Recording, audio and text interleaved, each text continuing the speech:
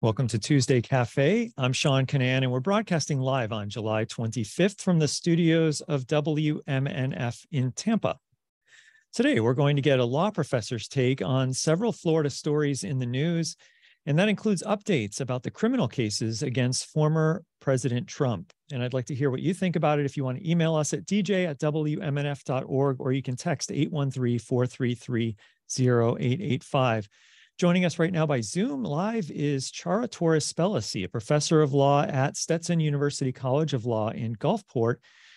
Ciara Torres-Spelliscy is also a Brennan Center Fellow. Welcome to Tuesday Cafe. Thank you for having me. I'm really glad you could come on and uh, we can inform our listeners about what's going on in the legal world. And a lot of what we'll talk about this, this hour, as I mentioned, are the various indictments against Donald Trump. But uh, soon we'll turn to that. Let's talk right now about voting rights. Um, one of the voting rights uh, issues that's come up in the last few days is that in 2018, voters uh, in Florida approved a constitutional amendment that allowed most felons to who had served their terms to regain their voting rights. But in 2019, the Florida legislature stepped in to kind of um, maybe they say clarify what voters had had uh, written into the Florida Constitution. But what happened in 2019 when it came to felons and the fines that they needed to pay before they voted? Yes. So Amendment 4, which was passed in 2018, restored voting rights. Uh, but then the Florida legislature swooped in in 2019 and said that individuals had to pay fees and fines before they could get their voting rights restored. This led one federal judge to call this a pay to vote scheme. But ultimately, uh, what Florida did in 2019 was upheld by the federal courts. So now we have a new lawsuit which asks Florida to produce a database which makes it clear how many fees and fines are outstanding for any individual citizen. And this is a key reform that we need because right now, uh, Florida is very Kafka esque. Uh, it won't tell you what fees and fines you owe, but if you guess wrong and vote, then they will go after you for fraudulent voting. And we saw that when there were about 20 people arrested roughly a year ago in Florida. And uh, a lot of them said that they just thought they were eligible to vote, but they weren't sure. And so you think a database like this might clarify things? Indeed. I, I write about this in my new book, The Democracy Litmus Test. And a lot of those original 20 arrests, the prosecutions have fallen apart in, in part because uh, lots of these individuals had voting rights cards from the state of Florida, which said that they had the right to vote. Then they voted and then they were prosecuted for voting. And one of the things that their lawyers were able to say is they didn't have uh, the mental state of voting fraudulently. They thought it was lawful for them to vote. And one of the reasons they were uh, arrested is because Florida has this new office called the Office of Election Crimes and Security. Critics are calling it the Elections Police. What is this? Um, what does this office do? And the 2.6 million dollars that that the Florida legislature has given it over the last two years, what kind of of of crimes, I guess, is this office going after? So they're looking for individuals who have voted illegally. Uh, and that is not the worst thing in the world. We want our elections to be safe and secure, and for those who are eligible to vote to be able to vote. But the problem that Florida has created is they haven't made it clear what fees and fines uh, someone with a felony conviction actually owes. And so they are just creating this system which puts a enormous amount of risk on the would-be voter uh, and it is incredibly punitive. So if you guess wrong and vote when you're not allowed to vote because there's some outstanding fee, fee or fine that you don't even know exists then you can be prosecuted for that unlawful vote. Critics of all of these uh, things that have happened since 2018 say, well, one of the goals of the Florida legislature is for fewer and fewer people, especially people who might lean Democratic, to be able to vote. that's and and be allowed to and be able to register and and to vote but there's also kind of a corollary here that seems to have happened especially maybe in the last election the 2020 um, 2022 election is that there are a lot of people maybe sitting it out because they're kind of afraid that they've registered but they're not sure if they're going to get busted if they do uh, vote yeah i think this is going to have a chilling effect especially for those individuals whose rights were restored by Amendment 4. They may have a zero balance on their fees and fines, but there is no database that Florida runs where you can actually establish that you have a zero balance. And that's why they're being sued. Uh, Florida needs to create a, a streamlined one stop shop where anyone can figure out who owes what. And when you get to a zero balance, that's when you can vote.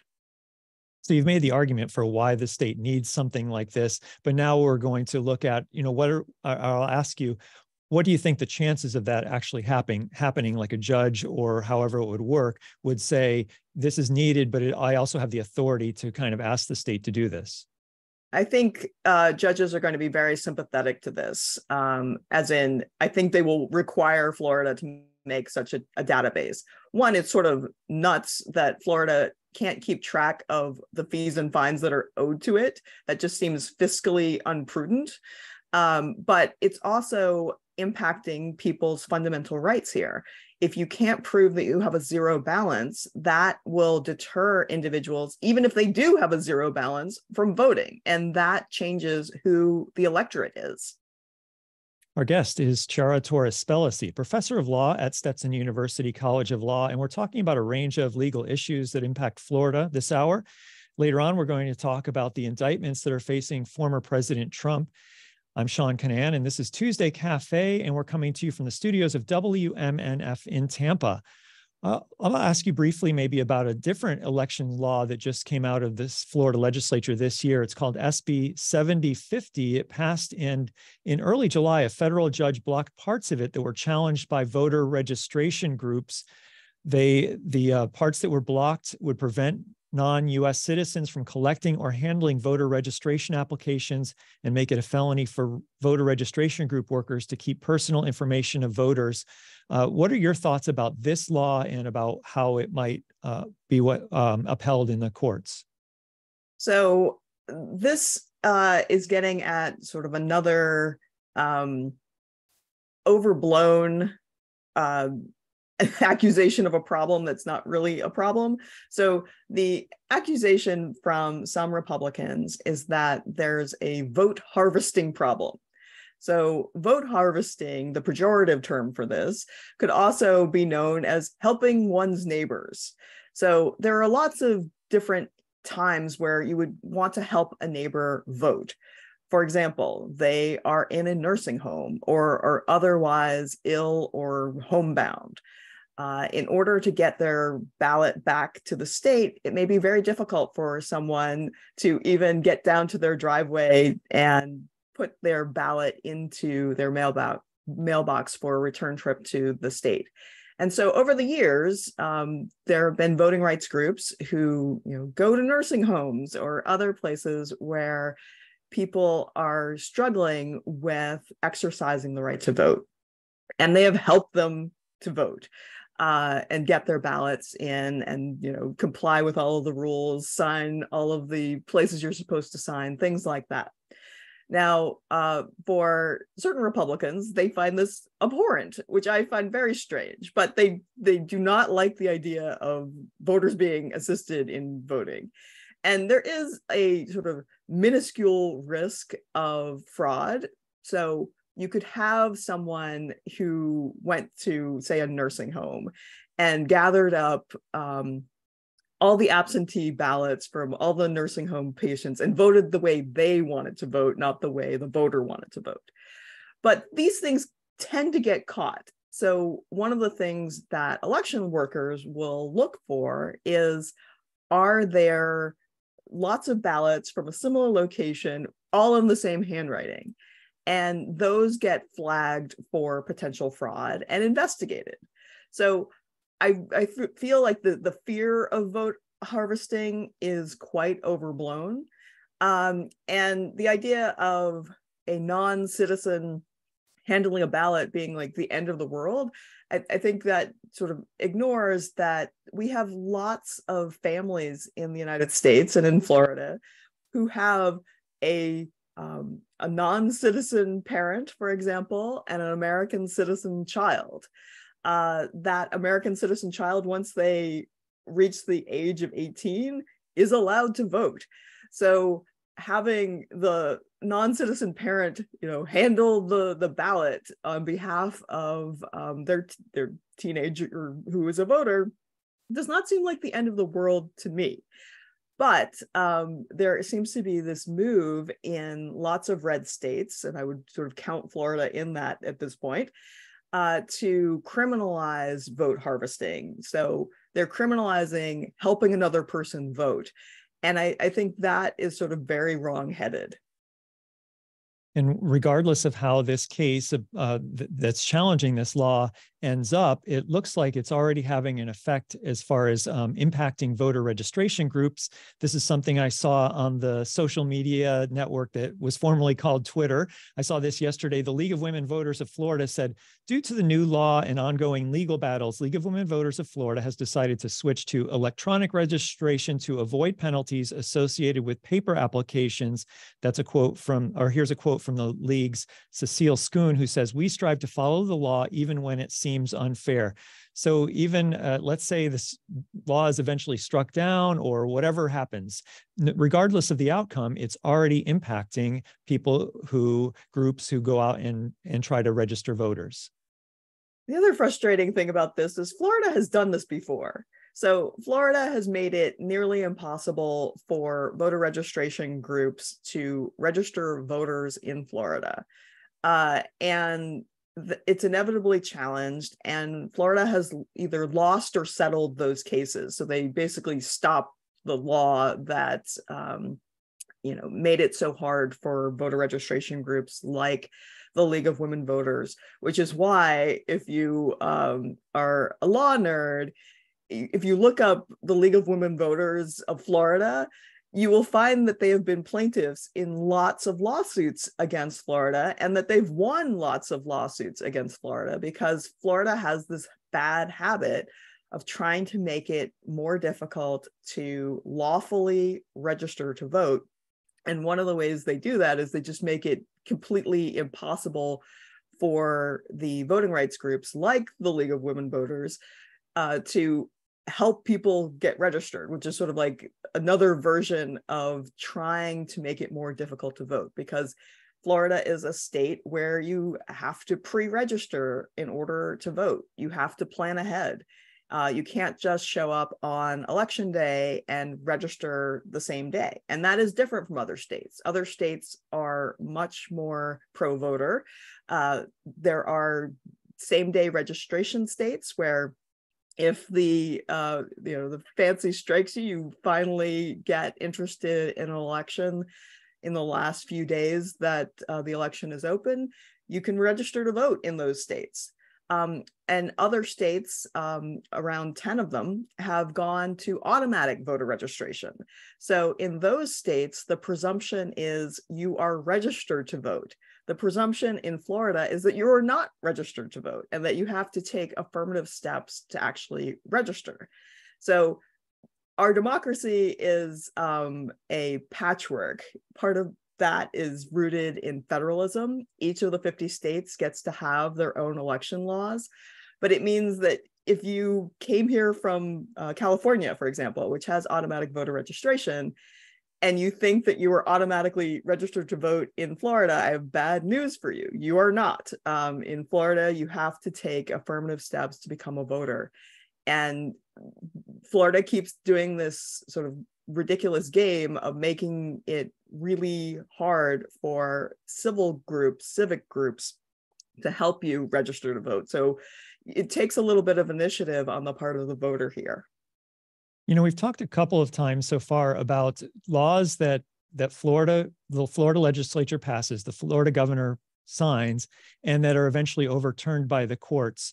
And all that expense is paid for by the taxpayer. Is there any disincentive for the legislature you know to do that is there any is there any reason for them to stop doing that i mean it would be nice i think i think it's fair to say I, that if we stopped passing laws that are going to get overturned and then stopped uh, having to defend those laws in court it would just save everybody a whole bunch of time a whole bunch of confusion and a lot of money are there any things in place that might incentivize stop to stop doing that Unfortunately, not. Um, so there are such better uses of our taxpayer dollars. Um, we could put it into improving our schools, improving our roads, dealing with climate change.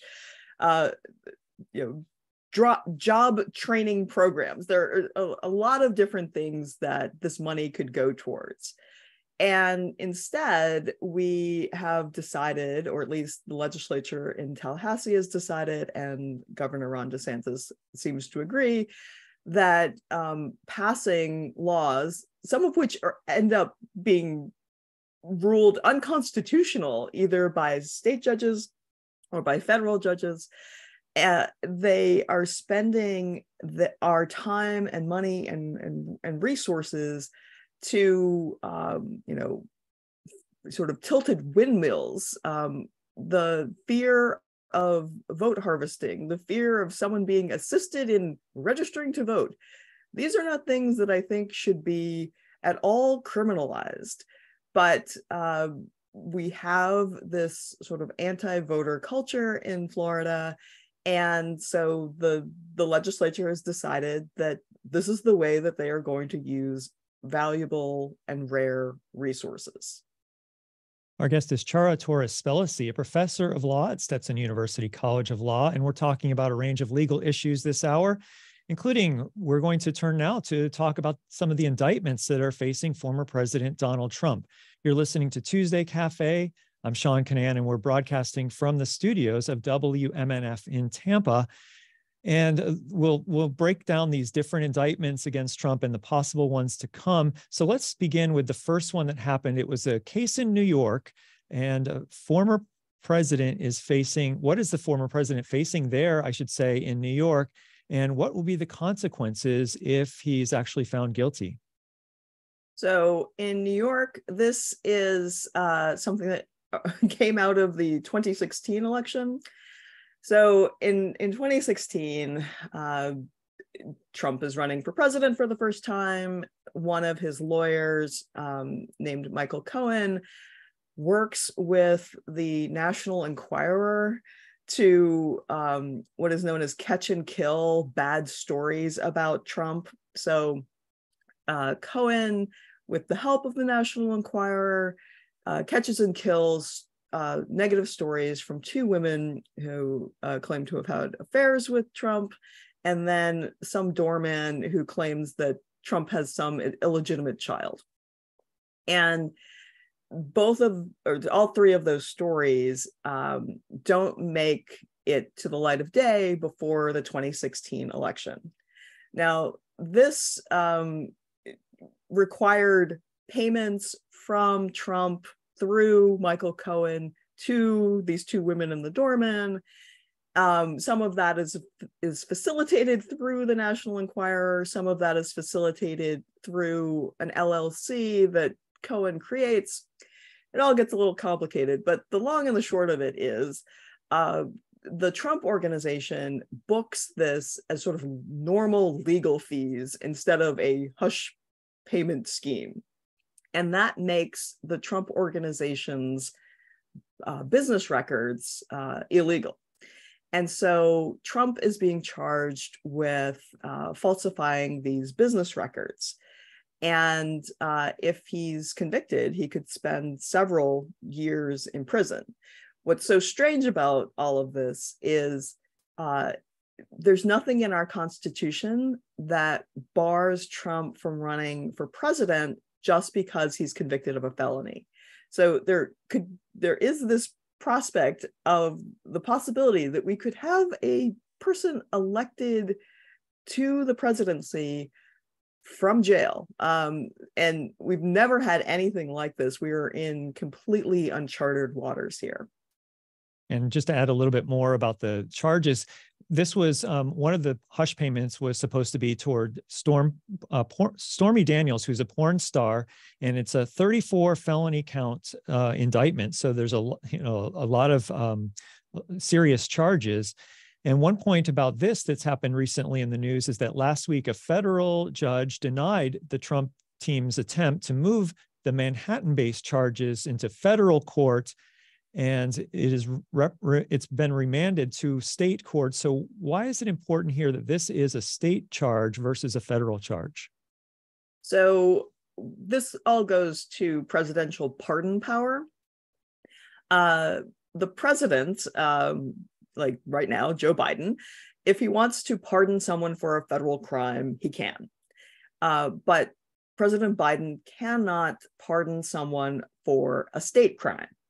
So it matters whether Trump is charged federally or in uh, a state proceeding, which is what the New York um, DA's case is. It's considered a state proceeding. It's sort of a local proceeding, but it, it's considered state, not federal. And that matters because if he is convicted, then no president, including himself, can pardon Trump for that New York state crime. Uh, and it would have been different if his attempt to remove this to federal court had worked because if he could argue that this was actually a, a, federal crime that he should be charged federally for what happened in new york then uh, either trump himself could try the self-pardon which is another thing we've never seen before but if anyone was going to try it it would probably be this individual uh, or say uh, Ron DeSantis wins the the nomination and then wins the presidency, it's not out of uh, question that a Republican president would pardon Trump for all of his federal crimes. But so long as he has a state conviction, that state conviction cannot be pardoned by any president. Our guest is Ciara Torres-Spelliscy, professor of law at Stetson University College of Law, and we're talking about legal issues that impact Florida today. Some of the indictments facing former President Trump, that's what we'll be talking about as well. And so we've already mentioned the first one, the state charges in New York State. And now we'll talk about the federal case against Trump in Florida. He was accused of, he was indicted for keeping classified documents at Mar a Lago in Palm Beach and since this one is based in Florida and it's fairly recent, it might be the one that's the most fresh in people's minds. So what what are the 30 or some of the 37 counts here that Trump is charged with? So he is essentially being charged with mishandling classified and military documents. Uh, these are documents that belong to the United States. They do not belong to Donald Trump, sort of full stop.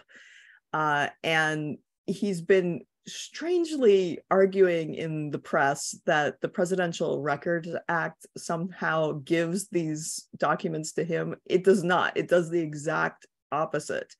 Uh, it it makes clear that these documents that you know were created during his presidency are the property of the of the United States. And at the end of his presidency, he was required to give them all back instead of instead of giving them all back, apparently he absconded with boxes and boxes of them.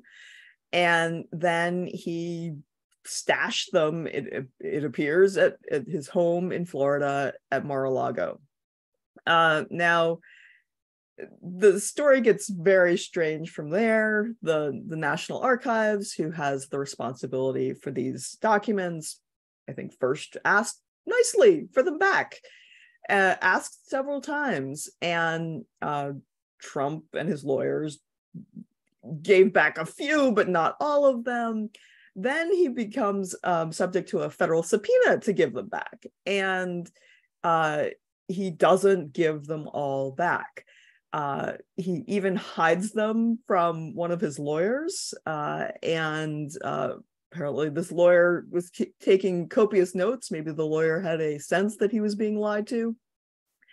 And so uh, all of this is led to mar-a-lago being um, uh, searched. The the search turns up the the missing documents at least most of them. And so now he is being charged with um, maintaining these uh, classified and military secrets that he had no legal right to um, retain. And according to CBS News, um, the documents include information about U.S. nuclear programs, defense and weapons capabilities of the U.S. and other countries, vulnerabilities of the U.S. and its allies to attack, and how the U.S. would retaliate in response to an attack. You know, it seems, I don't know, it seems like why in the world would a, an ex president think that that's information that they should just keep lying around? not under lock and key. Um, it, it's uh, you know, some people have gone out on a limb and said that he wanted to trade some of this information for favors. Um, you know, I don't know if any of that's in the indictment, but uh, it sounds like it's very serious charges and isn't just because there's always the talk about this will being a political uh, ploy and and uh, oh, it's, it's, Democrats trying to nail a Republican, but it seems like that we're really talking about serious federal crimes. We are, uh, and the indictment doesn't accuse him of selling any of these documents, um, at least not yet. Uh, it's also it's possible that there could be a superseding indictment if there's evidence of that additional crime. Uh, one of the things that the indictment does uh, accuse uh, Trump of doing is sharing documents uh, that are either classified or contain military secrets with people who had no authorization to see them. So there was an individual who was writing a book about um, Mark Meadows. That individual is shown some documents. Uh, there's CNN has now released a, a, tape of that meeting, which is pretty damning, um, where Trump appears to be showing these sensitive documents to individuals in a room none of whom have the authority to see such a document. And then there's a further accusation that um, one of the heads of his PAC, uh, also was shown um, a map that the map seer did not have authority to see the map. So there are uh, serious problems here with having an ex president retain these sensitive documents and then not um, protect them in the way that we would hope a classified document or a document about US military secrets would be kept. The most recent news, perhaps, on this indictment has to do with the timing of the trial. And the t- Trump team was hoping to get the trial pushed back till after the 2024 general election in November of 2024 the prosecutors wanted to try it earlier and there was kind of a maybe a compromise in time from that from the judge in the, this court aileen cannon whose name we'll hear i'm sure over the next few months a lot she set the trial date for may 20th of 2024 so this is after the florida um, uh, primary election, but before the general election. So it looks very likely, and maybe you can tell me the chances of this date being moved, but it looks very, very probable that this second indictment will be tried before the general election of 2024. Yeah, so the Trump team um, had a very aggressive ask uh, to Judge Cannon. They essentially asked for a indefinite postponement of his criminal trial around the classified documents. Uh, and essentially it, between that and statements that Trump has made um, in the public, he seemed to be arguing that he wanted the trial to go after the 2024 election. And this goes back to our previous discussion about the pardon power. So I think the logic of this would be um, though it, it's still pretty bizarre and out there, is that if he won the presidency in 2024, then uh, because of a long-standing memo at DOJ, it says that a sitting president cannot be indicted. And so if he made it all the way to January 20th of 2025 and he was assuming the presidency, then all of the federal criminal indictments against him would have to be paused for four years during his presidency. Um, and or he might try to pardon himself for all of these alleged crimes. Now we've never had any president try to self-pardon but uh, i think that would be a really difficult thing for the courts to deal with so usually the courts are very hesitant to deal with presidential powers that are sort of clearly laid out in the US Constitution. And that is where presidents get their pardoning power. It is one of the things that is uh, enumerated in the US Constitution. Now, I think this would be a corrupt use of the pardoning power, but the courts are really hesitant to opine on such things. And so it is entirely possible that if Trump tried to self pardon, that a court wouldn't stop him. Our guest is Ciara Torres-Spelliscy, professor of law at Stetson University College of Law in Gulfport. And we're talking about legal issues in Florida, including the indictments facing former President Trump. You're listening to Tuesday Cafe. I'm Sean Kinane. We're broadcasting from the studios of WMNF in Tampa. And we are turning now from the indictments that have come down, there have been two, and the next we'll talk about are indictments that might happen based on the information we have. And the first one is about a federal indictment that's possible related to the January 6th insurrection and Trump's uh, um, attempting to derail the transfer of presidential power after the 2020 election. We don't know that there's one coming, but Trump has said he's gotten a letter from the special counsel who said that he's a target, and that's a strong signal that uh, it's that Jack Smith is moving toward a grand jury indictment of the former president. In order to indict, the grand jury would have to find probable cause that Trump broke the law. So, what what possible um, breaches of the law might Trump have made in this case? There are so many potential crimes here. This, I think, is the big enchilada um, with Jack Smith looking at Trump's role leading up to January 6th and then on January 6th itself. So, the reason why I say there are so many potential crimes is there were sort of like crime after crime after crime between the January um, between January 6th and the previous election in November. So, one of the things that they are likely looking at is this effort to pressure states, um, governors, uh, elections officials to either reject votes for Joe Biden or manufacture votes for Donald Trump.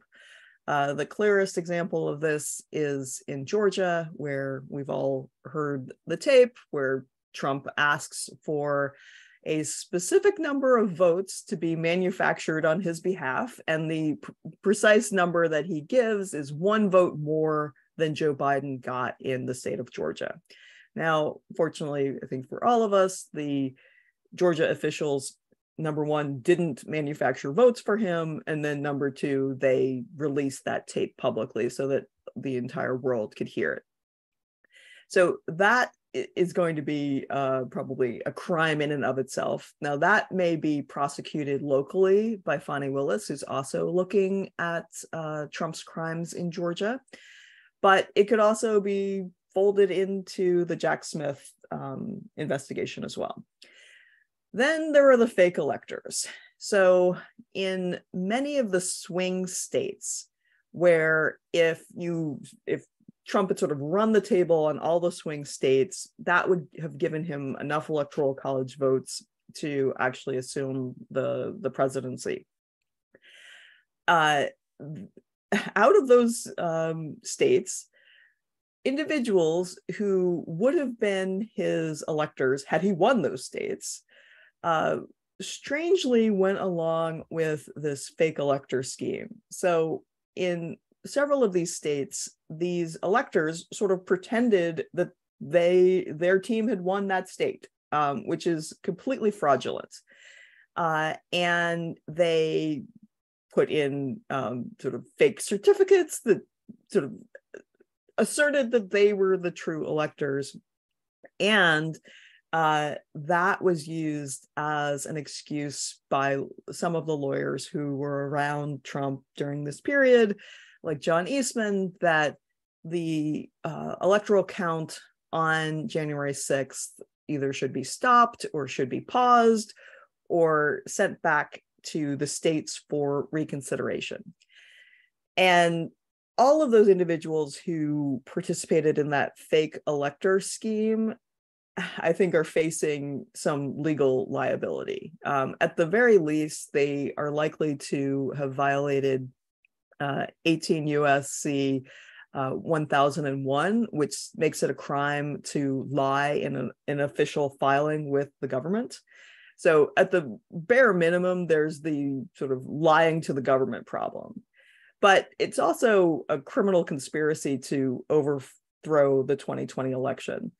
And I think that's where you get um, Jack Smith being interested in the fake electors.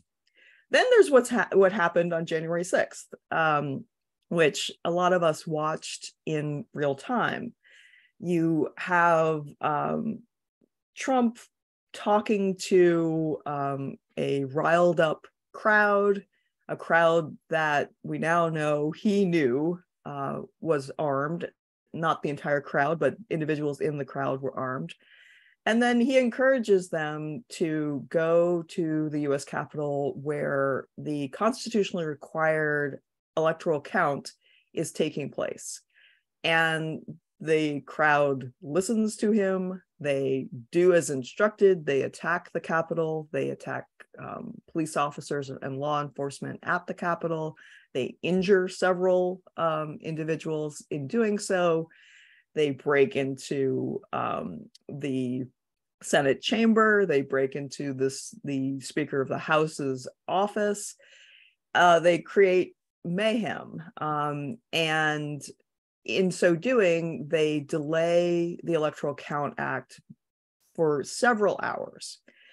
And all of that uh, exhortation to um, you know go to the Capitol may be something that Jack Smith charges as incitement to an insurrection. Now, we don't know because we don't have, um, number one, he hasn't charged anything yet in, in this part of the, the, the investigation. So we don't know what he's going to charge. And what I am hopeful of is that he will do a sort of similar speaking indictment as he did in Mar-a-Lago. In Mar-a-Lago, he really laid out like here's here are the documents here's trump moving them here's trump hiding them from his lawyer um, it was a really rich narrative and so i hope that he does a similar thing with um, whatever he's about to charge around either the you know pressuring state elected officials to change vote counts the fake electors or the violence on january 6th that it's really understandable to the american public why these are crimes, why they're serious, why they are deserving of prosecution. And I read in CNN that, in contrast to Trump's voter conspiracy theories, that the president, when he was president, he met with senior officials in February 2020. He was touting the security of elections. Do you think that that detail might matter? Where, where in 2020 Trump was saying how secure the elections were, and, and then after the election, he had all these conspiracy uh, theories that he was peddling? Yeah. Um, so it all depends on what um, crimes Trump is charged with. But one of the factors that uh, the special counsel must be anticipating is, you know, what what defenses are the Trump or his lawyers likely to raise? And one of the um, things that he might raise is I truly believe that there was fraud in the election. Uh, now, this matters for certain crimes and doesn't matter so much for others. But um, if you are charging, for example, uh, so one of the things that came out in the January 6th Select Committee, their reporting was that uh, the Trump campaign after the 2020 election raised money for a election defense fund uh, and you know basically to pay the lawyers who would litigate cases about the 2020 election. And it turns out that this fund does not exist. And so another crime that he might be charged with is wire fraud uh, for raising money for a purpose that did, did not exist uh, which is basically defrauding people out of their you know hard-earned dollars for you know a fantasy now, in such a crime, it might really matter whether you could prove that Trump knew his um, big lie about the 2020 election, that it was stolen, uh, whether he knew that was true or false. If he knows that it's a lie and he's fundraising off of that lie, then that would, I think, encourage the special prosecutor to go after that mail fraud charge around the campaign finance um, crimes. Uh, but if he doesn't think that he can prove that to a jury, he might not charge that crime, even if the crime is otherwise sort of uh, perfectly um, self-evident because he's raising money for something that doesn't exist.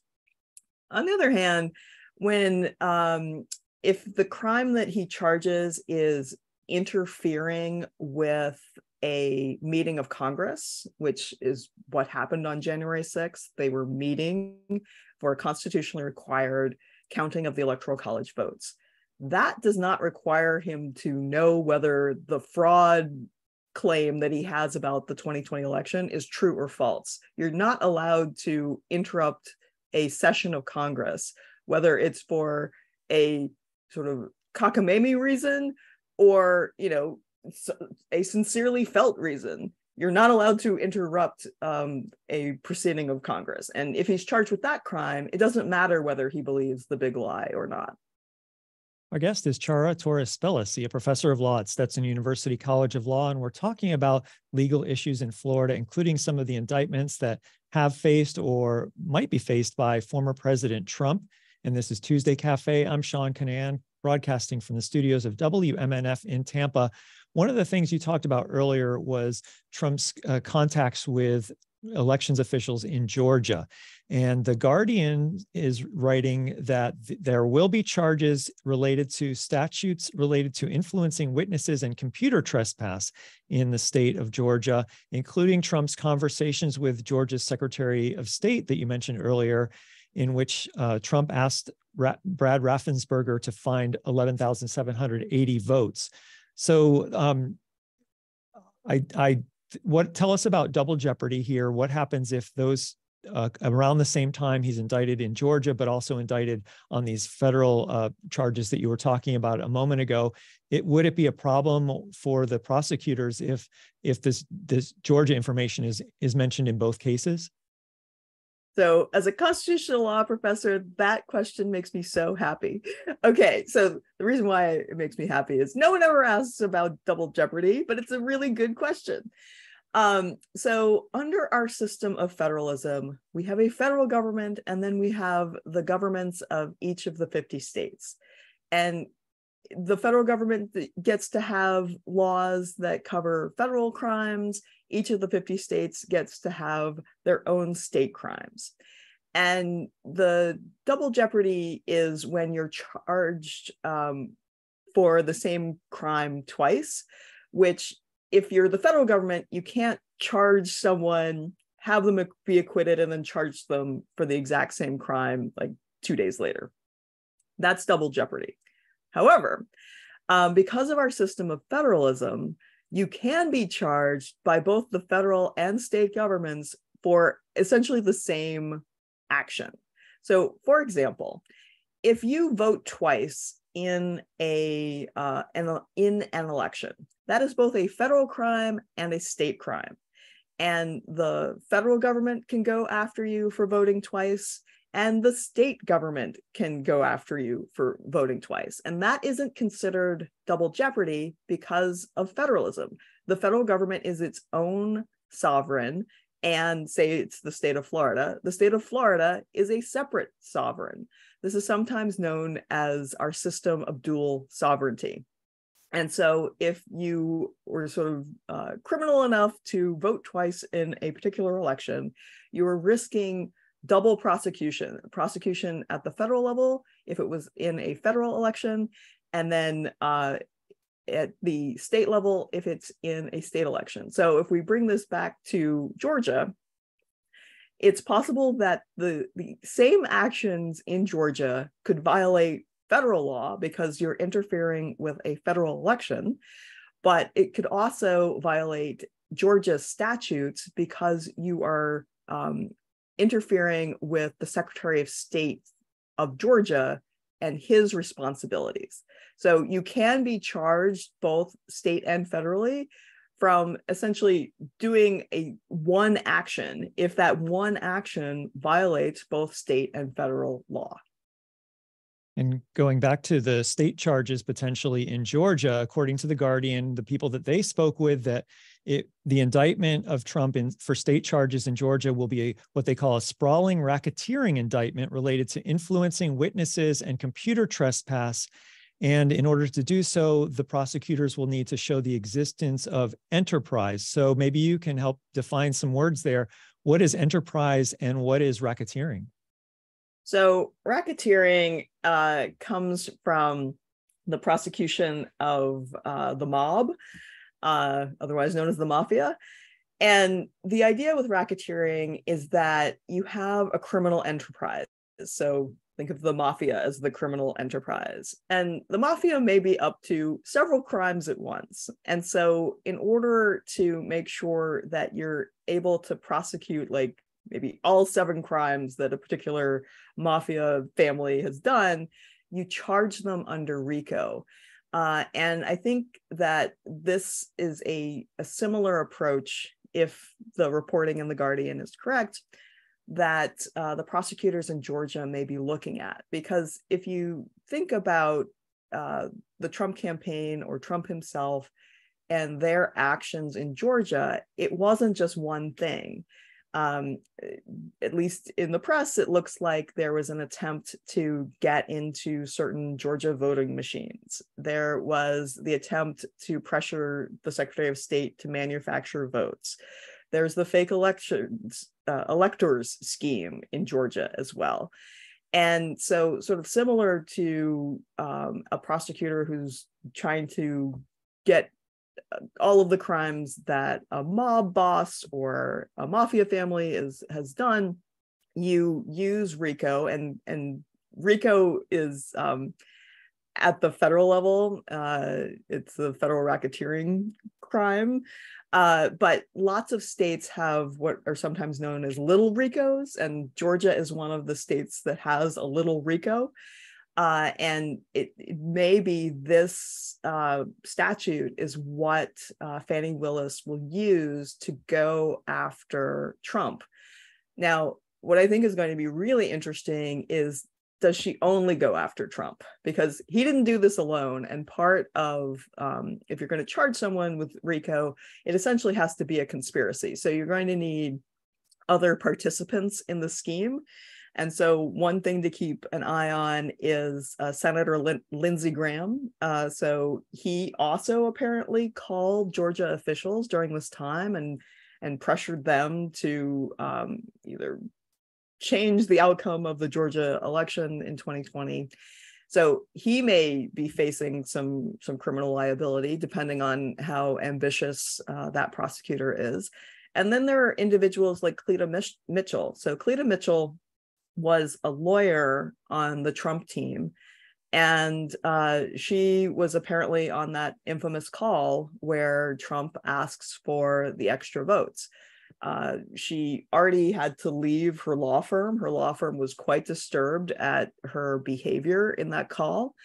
And I think one of the open questions here is is she going to face any criminal liability from Fani Willis in this Georgia case, this RICO case? Um, or will the focus solely be on Trump and maybe people we don't know as well? Um, and, and, and we shall see.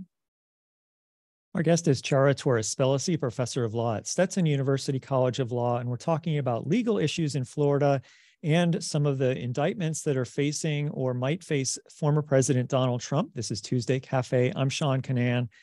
And I think that in the remaining four or five minutes that we have, I want to talk about redistricting. The Supreme Court recently ruled that Alabama needed to redraw its congressional map because it only had one minority majority district. And that was the court found that that was in violation of Federal Voting Rights Act. So, how might that ruling impact Florida's redistricting that just happened last year? Yes. Um, so, Florida, I think, was counting on Alabama to win that case, and they didn't. It was, I think, a pleasant surprise for voting rights advocates. But the Supreme Court both upheld the Voting Rights Act again and said that Alabama had violated it by having only one uh, majority minority district instead of two. So in uh, Florida, there was um, a lot of what I would call shenanigans around uh, the map that was created after the 2020 census. So there are, I think, strong arguments that it violated the Florida Constitution under the Fair Maps um, provision of the Florida Constitution. And then I think there are also really strong arguments that uh, the Florida maps violate the Voting Rights Act too, in the same way that the Alabama map was just found to violate the Voting Rights Act. So I think that loss um, by Alabama at the Supreme Court could have huge reverberations for maps in Florida because it it keeps a door open for litigators to make um, an argument that what Florida did with that post 2020 map um, was not legally appropriate. And let's remind people what happened last year in Florida. The Florida legislature, which is dominated by Republicans, drew maps, and yet they still had this extra, well, compared to now, they had this this uh, North Florida district that looked like if if uh, voters got would that voters would get to choose their representatives and that it might be a, a, black representative who would, was voted in. But then when the governor got that map, he vetoed it and sent his own map back to the Florida legislature. And uh, they kind of rubber stamped it after he vetoed their, their first map. So um, is the the order that that happened it, does that do you think that that'll play into any kind of legal challenges that happen with the map um it's always hard to say what a particular judge will fixate on um, but it's not the greatest set of facts if you are arguing that a map was created in the ordinary course uh, and I, I think the map that was created after the 2020 census in florida has real legal problems now, the good thing is after this loss um, at the Supreme Court by Alabama, civil rights lawyers, voting rights lawyers can uh, still go into court and litigate these matters. And hopefully, at the end of that litigation, you get um, Florida to draw maps that are fairer to all voters. And that was supposed to be what happened in Alabama, but in Alabama, um, you know, they came out with essentially pretty close to the same map, and the Supreme Court might end up eventually having to uh, have a special master draw new lines for Alabama. Speculation about whether that might happen and what might happen in Florida, in, if that if we get to the same point. Yeah, it's entirely possible. I don't think that Alabama is going to have um, a good um, path legally because they were just told by the Supreme Court to stop misbehaving and they're still misbehaving. Well, I want to thank you so much for coming on WMNF's Tuesday Cafe, Professor Ciara Torres-Spelliscy. Thanks for having me. I'm glad you could come on. Ciara Torres-Spelliscy is a professor at Stetson University College of Law in Gulfport. And we had an audience member, Twinkle, saying that uh, she enjoyed having you on the show today and learns she learned so much, could listen to you all day long. So thank you for that note. And if you missed this interview, you can also watch it beginning this afternoon on our website, WMNF.org. I want to thank our phone screener, DJ Spaceship. You've been listening to Tuesday Cafe. I'm Sean Kinane. During this time slot tomorrow, Shelly Reback will host Midpoint and she'll talk about malaria in Florida. Coming up next is Wavemakers with Janet and Tom. Their guest is the founder of a nonprofit working to save manatees by restoring seagrass beds in Florida. This has been Tuesday Cafe coming to you live on July 25th. Thanks so much for listening to WMNF Tampa.